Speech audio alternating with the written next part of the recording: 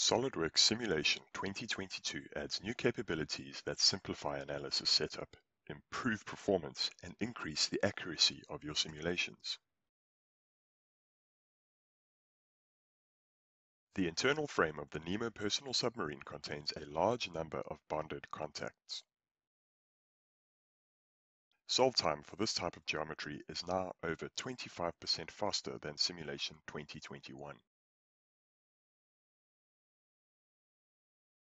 The Nemo submarine utilizes a specialized handwheel to secure the hatch while diving. Engaging the latch fingers requires a minimum of 500 newtons of contact force. This would ensure that almost any passenger is capable of applying enough torque to properly seal the craft. Taking advantage of cyclic symmetry by cutting the model down to one-third will save setup and solve time.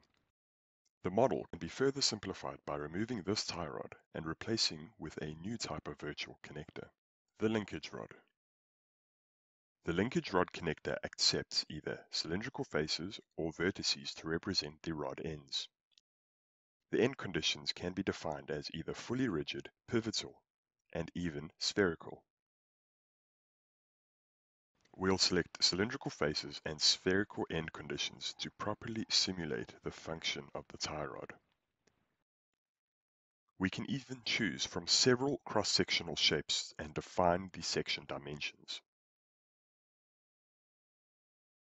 SOLIDWORKS 2022 now defaults to the powerful blended curvature-based mesher, which can now accept mesh control values outside of the maximum and minimum global size range.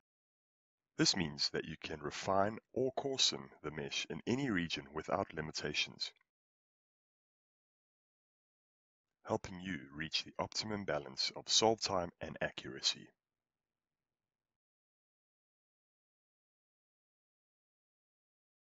Next, we'll apply a torque to the center rotor. The fifth percentile of humans can apply 16.5 newton meters of torque to a steering wheel of this size. Since we're analyzing a symmetric model, we'll cut this value into thirds.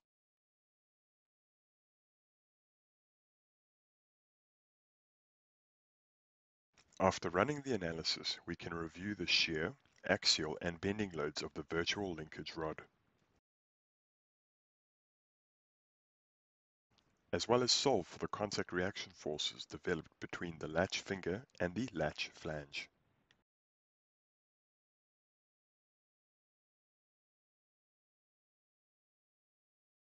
Multiplying this contact force by 3 is less than the 500 Newton requirement to properly seal the hatch.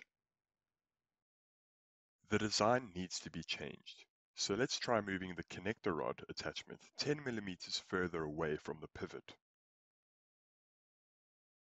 This should add additional contact force without requiring additional torque.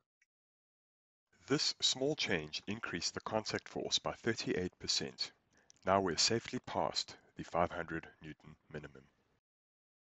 SOLIDWORKS Simulation 2022 adds new functionality that refines the setup process and provides under-the-hood enhancements that speed up performance and increase solution accuracy.